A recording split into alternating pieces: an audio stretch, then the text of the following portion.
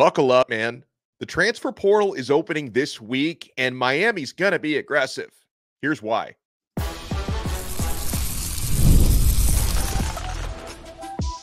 You are Locked On Canes, your daily podcast on the Miami Hurricanes, part of the Locked On Podcast Network.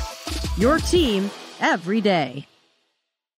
I'm Alex Donno, University of Miami alumnus, longtime South Florida sports radio vet, and also co host of Locked On ACC. And thank you so much. Shout out to the everydayers for making Locked On Canes your first listen and your first watch today.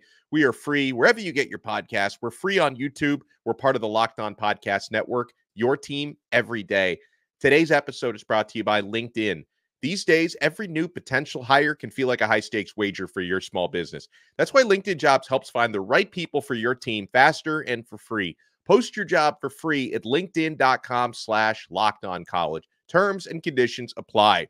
Uh, we'll talk today about players we certainly don't want Miami to lose in the transfer portal, about players and positions we would like Miami to add, I'll tell you why Miami's going to be aggressive in the transfer portal. And a little bit later on, we're going to talk with Pro Football Focus analyst Max Chadwick uh, about why he says Rueben Bain, if he were draft eligible right now, thankfully he's not, uh, but he would be a top five ed- edge rusher in the upcoming NFL draft, which is pretty strong coming off a true freshman season. But first on with the transfer portal. Um, if any of you have any doubts out there, you can expect Miami with the portal officially opening tomorrow, Tuesday, the 16th. It's going to be open until April 30th. Expect Miami to be aggressive. They're not going to be passengers, they're going to be drivers here. And that comes despite the fact that the Hurricanes are right now, this is going to change with outgoing players. Miami right now is over the scholarship limit. And yes, Miami does have a number of young, talented players and a handful of high profile veterans, but the Hurricanes Folks, from everything I hear, Miami thinks they can use this upcoming transfer portal to put themselves in an even better position to contend this year. However, you decide to define contending, whether it's trying to win the ACC for the first time, uh, also trying to get into an expanded 12 team college football playoff, or if it's contending for double digit wins, Miami does feel an opportunity to get the sort of players that can allow them to contend this coming season. And there's a sense of urgency, folks, that naturally comes from having a quarterback in Cam Ward that Miami's coaches feel is going to be the best that's played at Miami in a very long time. And also knowing you've got this quarterback for just one season. So the urgency comes from wanting to maximize that one year with Cam Ward by surrounding him with the top available talent. There's also, along with that sense of urgency, there's also a sense of confidence that comes from the hype and the influence that surrounds Cam Ward. Because when you have an exciting quarterback like this in your building, who's, you know, not only exciting on the field, but you know, he's he's very social off the field. He's very involved with recruiting and chatting with other players. And I think he's going to be instrumental in that in the coming weeks and try to attract other players to come to Miami. And Miami believes that Ward, he can attract top playmakers, especially offensive playmakers, to join him down here in Coral Gables. Miami also, in addition to that sense of urgency and that sense of confidence, Miami is also boosted by a great reputation among players around the country for their NIL capabilities. And obviously, they're, they're not the only ones with a strong NIL situation, but a lot of schools out there don't have it. So certain players may decide to test the waters in the portal to see if they can find not only a better football situation, but a better NIL situation somewhere else. And Miami is strongly positioned in that era. And before we talk about some of the specifics, ins and outs, position groups, possible players Miami could target, uh, again, if you had any doubts that Miami is going to be aggressive in this upcoming transfer portal, because I know some of you do, Josh Pate from 24 7 Sports, the late kick, said this about Miami in the portal coming up. Quote, no way around that. I would say a half dozen or more impact guys they will target, they being Miami. I think they feel good about several of them, and frankly, have for a few weeks. I don't know who the big winner will be, but I would be very surprised if we aren't talking about the Miami Hurricanes as having fundamentally altered their starting 22, which is fun because uh, you know, we just watched some some you know some really good and you know some not so good, but overwhelmingly it was a positive spring game a couple of days ago, and you know some of those starters and some of those players in the spring game, uh, they may be different starters, a lot of them, you know, come August 31st when Miami opens up against the Florida Gators. Now, when we talk about Miami being aggressive in the portal, I know at, at times over the last couple of years, um, Miami has just, they've needed not only good players, but they've also needed backup players. They've needed warm bodies. Uh, you're just you lacking so much depth. Uh, Miami's depth, Mario Cristobal has raised the floor of that with the way he's recruited and with the way he's worked previous transfer portals. So in this case, and they don't even have the roster spots for this if they wanted to, but in this case, Miami in this portal is not going to be going out there grabbing like, hey, this guy might be a third stringer, this guy might be a second stringer. They're not going out there for Jags. Miami's going to be looking strictly for difference makers. This time around, it's quality, not quantity, that matters. Uh, and we'll start here. Uh, I don't necessarily think this is the number one priority, but it might be a co number one priority. Getting a workhorse top line running back is looking like a priority right now for Miami. A name we've already talked about who's going to be officially in the portal tomorrow is Damien Martinez from Oregon State. This is someone who excels in yards after contact, which is going to make him very attractive to Mario Cristobal. He excels with his durability, and he ran for almost 1,200 yards last season. This is a true featured back. He's going to be available, scored nine touchdowns, averaged 6.1 yards per carry last year. So Damien Martinez is the type of player coming out of Oregon State that I can absolutely see Miami going after. Now, why? Why will they be going after running backs? We don't know the injury timeline right now on Fletcher. I think that's a little bit unclear. At least it's unclear to me. Um, TreVonte Citizen is still a ways away. We'll talk more about him a little bit later on. Uh, so if you're looking for these big bodied, featured back type of guys, you want someone like that to start the season with and to make a difference. This is why Miami, I think, is going to be aggressive for a guy like Damien Martinez. Now, again, uh, this is going to be a crazy week seeing who decides to jump into the portal and who doesn't, because there are going to be some players who are rumored to test those waters who may decide not to. Uh, but a name that's been floating around this morning. At the time I say this, he has not entered the portal. I can't say for sure if he will, but there is some chatter about North Carolina's elite running back, Omarion Hampton, possibly testing the waters. It's a rumor right now. But if if Hampton were to become available, you might not be able to do any better than this.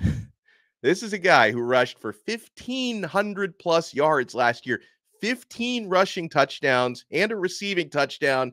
He can take over games. Miami has seen this guy take over games before, and Hampton averaged 5.9 yards per carry last year. So, again, I, I don't know for sure. Martinez definitely going in the portal. The other one, I'm not 100% sure at this time, but it's definitely something to watch out for. And that's the type of profile, folks, of players that I think Miami would be going after at the running back position. Um, I don't have as much in terms of specific names at wide receiver, but I think receiver, despite there being a lot of positives in the room right now, I think that's a position that could become a target depending who hits the portal. If, if, you can find a difference maker there, like a guy who you can immediately plug in, not only to start, but to be a game changer. I think it would take that type of player for Miami to take a look at receivers. Because again, I feel pretty good about my, what Miami has in that room. So I wouldn't go after a receiver unless someone truly elite becomes available.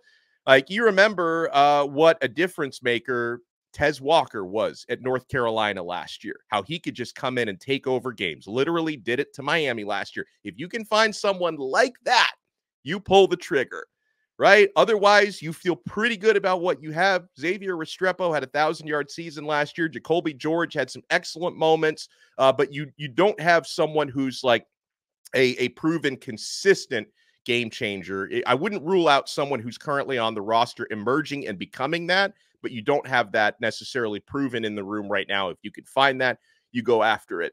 Uh, and I think it's going to be a little bit easier than it was because I, I know the last the last couple of uh, of years when you know when Miami is trying to attract top receivers to come in through the portal, it's it's been difficult at times. Specifically, a year ago, heading into the 2023, you remember how bad Miami's offense and passing game was in 2022, right? And you know they couldn't draw flies into that receipt when it came to the transfer portal. They had a really, really tough time there. Uh, they're not going to have that problem this year because even before Cam Ward arrived, Miami put up way better, pa- despite quarterback inconsistencies. Miami put up way better passing numbers last year, and you had some standout receivers on the roster. Now you've got Ward, so this year should be much easier to attract top wide receiver talent. We'll talk about defensive needs and possibilities on the other side. I'm also I'm going to be answering some questions from Locked On Canes insiders on this one who are they're really trying to pick my brain on on who I think might leave in the transfer portal because obviously when you're talking about trying to clear a half dozen spots and you're about a half dozen spots over the roster limit right now, you're talking about close to a dozen exits. So we will talk about all of that and again, we're going to talk about the future NFL draft stock from Rueben Bain Jr. Cam Ward, Xavier Restrepo, Kiko Mauigoa with Pro Football Focus analyst Max Chadwick a little bit later on. So, folks, it's a busy episode. We're only getting started on this brand new Locked On Canes. And if you're a small business owner, you're only getting started with LinkedIn jobs. Folks, when you're hiring for that small business, you want to find quality professionals that are right for the role. That's why you have to check out LinkedIn jobs. LinkedIn Jobs has the tools to help find the right professionals for your team faster and for free. Guys, I know this works because I've found jobs through LinkedIn Jobs before. It isn't just a job board. LinkedIn helps you hire professionals you can't find anywhere else, even those who aren't actively searching for a new job but might be open to the perfect role. In a given month, over 70% of LinkedIn users don't visit other leading job sites. So if you're not looking on LinkedIn, you're looking in the wrong place. On LinkedIn, 86% of small businesses get a qualified candidate within 24 hours. Hire professionals like a professional on LinkedIn. 2.5 million small businesses use LinkedIn for hiring.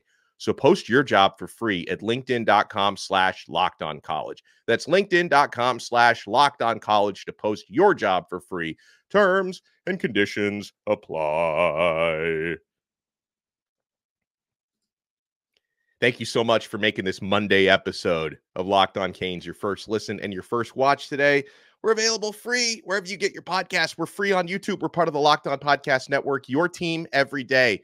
It's Locked On's NFL mock draft live on April 17th at 7 o'clock Eastern Time, streaming on the Locked On Sports Today 24 7 streaming channel on YouTube or the free Amazon Fire TV channels app. Find the ultimate six episode series on April 17th at 7 o'clock Eastern Time to hear who the local experts on Locked On are picking for every NFL franchise with five reaction with live reactions, not five, live reactions from local college football experts and even the fantasy football angle. The Locked On NFL mock draft on April 17th at 7 Eastern Time, streaming live on Locked On Sports Today, 24/7 streaming channel or on YouTube or the free Amazon Fire TV channels app.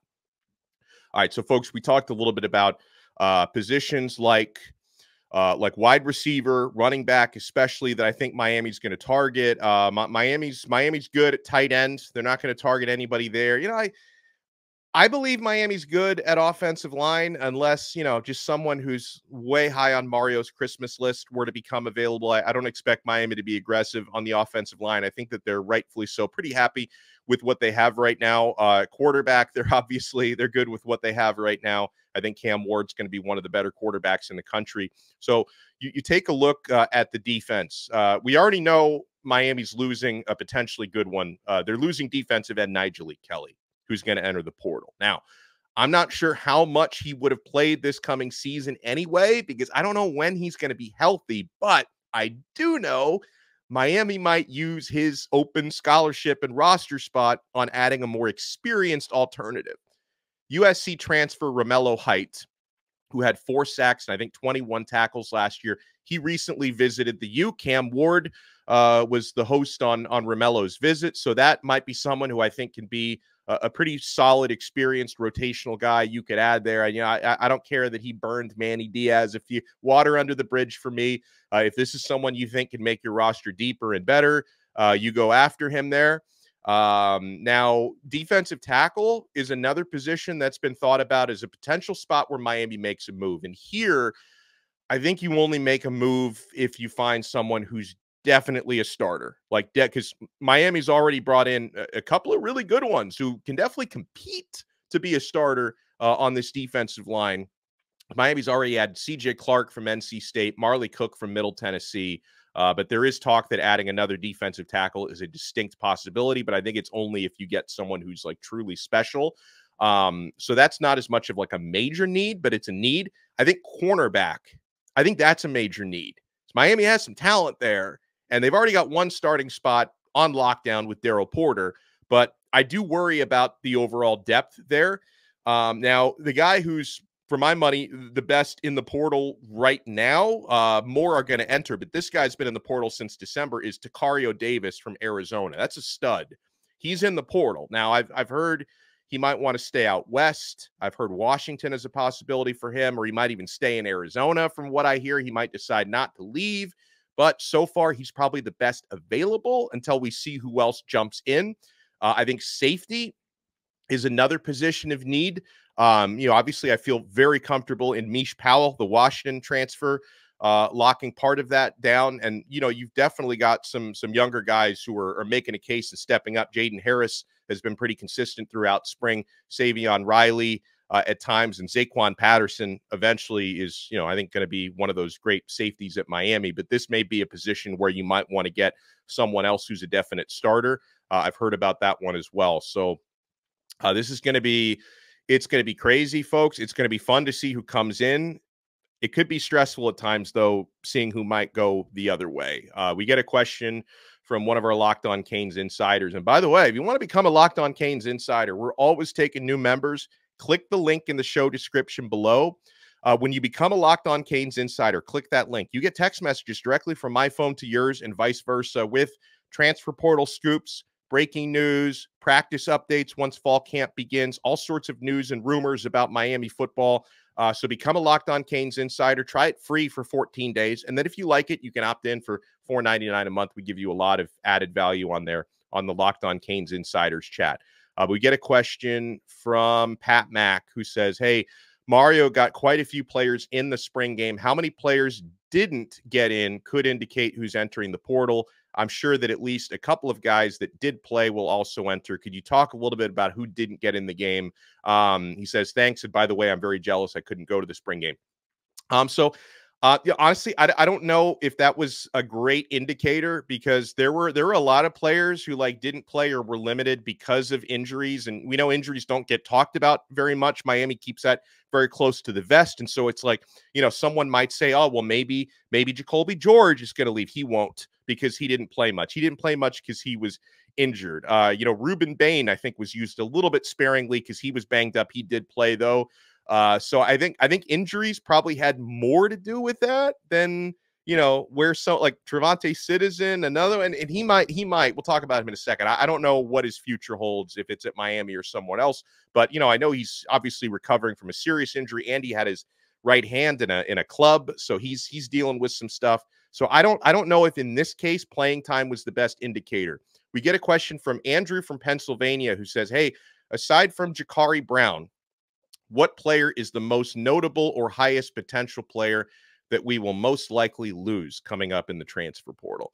Uh, now, Andrew, um, I honestly, I can't say who we will most likely lose because I don't play the speculation game, at least when I can avoid it, right? Because um, there's a lot of players who are probably deciding things, and I don't know. Now, if I'm going to give you my personal opinions, I think there are there are a few players that definitely I was a little bit concerned about heading into the spring game. You know, guys who maybe didn't get much playing time last year. So, do they want to stick around, or guys who are coming off serious injuries? Are they going to stick around?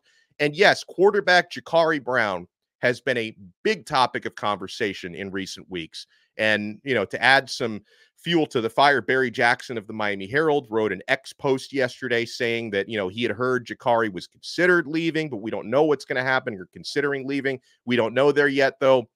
Now, Jacurri, this is a player I do not want to lose because he's been improving each year and he has potential to be a high level starter someday. Obviously, everyone's behind Cam Ward this year, but Jacurri has improved himself a little bit or a lot every single season. And if it does come down to a competition next year, for that starting job. I would love him to still be here and be in the thick of that, along with Emory Williams. You know, again, I, I didn't think uh, Reese Poffenbarger didn't have a very good spring game. That was not a very good showing for him. He's he's been better at other parts of the spring.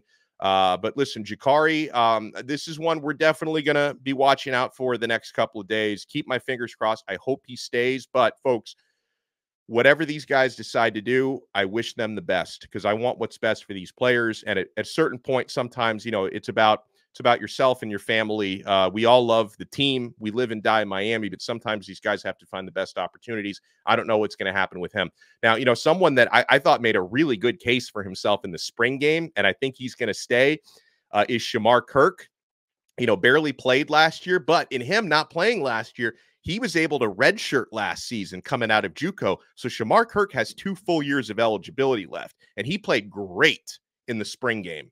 He played excellent. He had two of the biggest plays in the spring game. So, you know, just with Miami having a lot of young, talented receivers, I didn't want Kirk to be like a forgotten man, but he's had a really good spring. I feel much better about him staying at this point, and I hope he does. You know, I've definitely like I've I've had at times concerns about TreVonte Citizen. We'll see what happens there because he's still not all the way back. He's missed the last year and a half with serious injuries. I don't know what the future holds for him. I hope it's in Miami because if he can get back to his pre injury levels, this can be a featured back someday. You know, I, I hope Miami keeps all of their young tight ends. Uh, you know, Jackson Carver was happy to see him have a big catch in the spring game because he, he's someone who came in just kind of raw out of high school, didn't have much experience playing football. He can develop into a special receiving tight end. Uh, a guy that I would definitely wonder about is Zion Nelson. I just I don't know what the what the future holds for him. He's coming off of serious injuries. Uh, this is not someone that I expect to be a factor among Miami's offensive line starters and rotations this year. So that's one I'm definitely going to be watching uh, in the coming days. Uh, we get a question from who I did. This person didn't sign the question. They said, uh, "Do you know if Miami escaped any spring game injuries, uh, any significant injuries?" Um, I have. I certainly I didn't see any significant injuries on the field. Haven't heard about any. No news is good news in this case. Folks, we're going to talk with pro football focused analyst Max Chadwick. Why does Max, is he trying to uh, entice Rueben Bain to the NFL? Rueben Bain cannot leave for the NFL until the end of the 2025 season. Thank goodness. But uh, according to Max Chadwick of Pro Football Focus, if assuming eligibility for all of these guys, he would have Rueben Bain as the fifth best defensive end prospect in the NFL draft right now. Why? And what does the NFL future hold for players like Cam Ward, Kiko Mauigoa, Xavier Restrepo? You want to keep it locked right here on this brand new episode of Locked On Canes. And yeah, you want to keep it locked to FanDuel as well. Guys, we're having so much fun on this sports book, America's number one sports book. It's playoff time in the NBA and NHL. Baseball's in full swing, and FanDuel is your place to bet on every game. Got your Miami Heat plays ready. Your Florida Panthers have been red hot. Right now, new customers at FanDuel get $150 in bonus bets guaranteed. That's 150 bucks win or lose. Bet on everything from slap shots to home runs to slam dunks, all on an app that's safe, secure, and super easy to use. What are you waiting for? Visit fanduel.com slash locked on and make your first bet an automatic win. FanDuel, America's number one sports book. Rueben Bain last season, co-leader on Miami with sacks at seven and a half. Bain was second on the team in tackles for loss last year. Thankfully, uh, Bain will not be draft eligible until after the 2025 season, but Max Chadwick from Pro Football Focus is already imagining uh, maybe what things could look like with Rueben Bain if he were draft eligible this year. You see this graphic, top 10 if all were eligible draft prospects on the edge with James Pearce of Tennessee at number one, uh, Laiatu Latu at two, Nic Scourton from Texas A&M three, Jared Verse of Florida State. That's someone the Dolphins might look at at fourth, and then Rueben Bain right after that at number five. And we have the man who compiled this list joining us now, Max Chadwick from Pro Football Focus. Max, how are you, sir? I'm doing great, man. Thanks for having me on again. Of course, it's a pleasure. And so, okay. And again, thankfully, Miami fans don't have to worry about Rueben Bain in the draft anytime soon. It's going to be a couple more years. But after a standout true freshman season at Miami, what stands out to you most about Bain? Uh, he was unbelievable. You know, there was um, some talks before the season about him being kind of a breakout player. I know he's a really highly rated recruit too, so I kind of had my eye on him uh, originally, and then he just he proved why that that hype was uh, was there before the season. And you know, looking back, he had an 89.3 pass rushing grade last year. And among Power Five true freshmen since we started doing this in 2014, the only one who's had a better pass rushing grade in their first year of college football was Myles Garrett. And we all know how amazing Myles Garrett is now, arguably the best edge defender in the league. Uh, he just won Defensive Player of the Year in the NFL. And the guys right behind Rueben Bain in terms of true freshman Power Five uh, pass rushing grades are Harold Perkins, the LSU now off ball linebacker, who obviously is an incredible pass rusher and will probably be a first round pick in 2025. And then right behind that is Nick Bosa, who also, like Myles Garrett, has an argument to be one of the best edges in the league. And then right behind him is Dexter Lawrence, who is one of the best defensive tackles in the NFL right now for the New York Giants. So uh, that's a really, really good list to be on right there. So if that's any indication of what kind of player Rueben Bain is going to be, not only in college, but in the future, uh, he is going to be an absolute superstar in the NFL and in college football. Now, of course, you know, it's just one year of production. We want to see how he develops more in year two and year three. Uh, but as of right now, man, he, he looks like one of the best edges in college football. And that's why he ranks so highly in my ranking of every edge if everyone was eligible, because I think there's a really good chance he could be a top five pick potentially in 2026, which I know, again, like it's two years away from now. So it could look uh, a lot different from now until then. But uh, that's kind of what I'm trying to project right now is how these guys are going to look when they're finally are draft eligible. And Rueben Bain looks like a potential, you know, top pick in the NFL draft when he finally does declare for it. Uh, it's really cool, and uh, and hopefully he can stay on that trajectory. I did also want to talk to you about some players who uh, will be uh, likely entering the NFL draft next year from Miami. Uh, you know, we know Cam Ward is going to be a one and done at the U. This is his final year of college eligibility. He'll be on to the NFL. Ward actually dipped his toe in the water and initially declared for the NFL draft. Decided to come back one more year in college. Do you think he made the right decision coming back for a year? And how do you project Ward as a possible NFL prospect a year from now? Yeah, he definitely made the right call. I, I think his tape is still very uh, a lot of roller coaster in there. Honestly, like he can make throws that nobody else in college football can make, and he also uh, makes a lot of head scratching uh, plays. I think he actually, over the last two years, I think his turnover worthy play rate actually, I think, is the highest of any quarterback. And I think the Power Five, maybe even all college football. I got to look that up again. But uh, yeah, he's still a roller coaster. So if he declared for the draft, um, when he originally did, I, I didn't love that move because I was like, ah, he's going to be a day three pick, maybe. Like someone's going to be like, all right, we'll take a flyer on him, but we're not going to like uh, treat him like, you know, a second or third round pick. And also, this year's quarterback class is so good that like he really wasn't going to be able to compete with the top guys in the draft. Next year, there's a chance, you know, if he does uh, improve and he, you know, takes out a lot of the uh, wild parts of his game and plays a little more under control and, and, while still making those wild plays for Miami, then yeah, he could join the uh, the top group of the quarterbacks in this in next year's draft. Because I think it is a a notably weaker quarterback class than it is this year. I, th- I still think there's some good guys at the uh, at the top with Carson Beck from Georgia and Shedeur Sanders from Colorado and Quinn Ewers from Texas, but uh, there is a path there for Cam Ward, whereas there really wasn't a path for him to join Caleb Williams, Drake Maye, Jayden Daniels, like those guys in top of this year's draft after what he showed at Washington State this past year. So uh, still got to see a lot of improvement from him. I'm not uh, all the way in on Cam Ward yet, but he does have a very high ceiling and one of the higher ceilings, I think, in college football. Now, over on defense, uh, a player who was uh, probably the only guy on that defense who made a bigger impact than Rueben Bain last year was linebacker Francisco Kiko Mauigoa, who who did.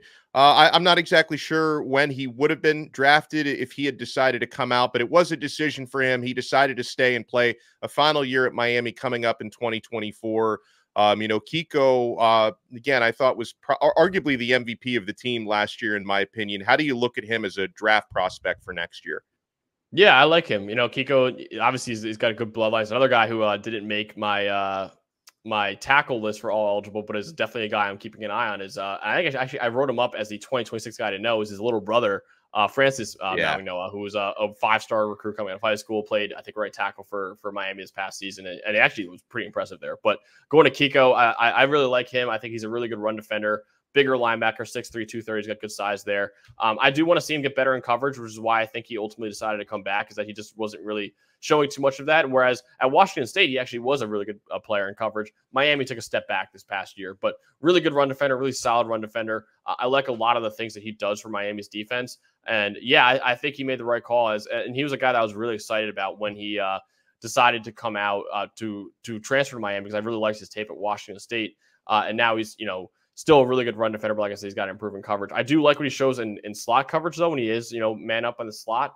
Uh, I think he's shown some good stuff there, but overall in the box, I just I don't think it's been as good as it was at least at Washington State. Uh, but like I said, great run defender, good size for the position. I think he could be one of the better linebackers in next year's draft, but I definitely think he made the right call uh, staying in school this year. Even though this year's a weaker linebacker class, I think he still made the right call staying for another year in Miami and uh, giving another go.